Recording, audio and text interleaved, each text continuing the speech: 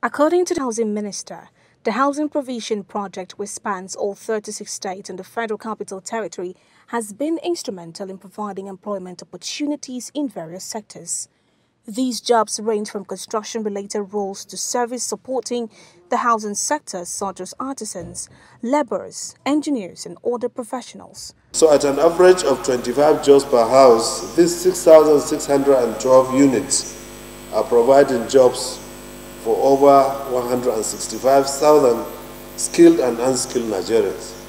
This in addition to the value chain effects of purchase, supplying of building materials, businesses around the construction sites, etc.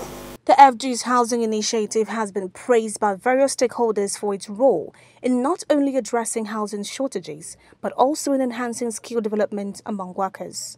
Over the past 365 days, these dedicated ministers have demonstrated visionary leadership and a deep commitment to the Renew Hope agenda of Mr. President, and have stayed true to their promise to transform the entire housing ecosystem of our country.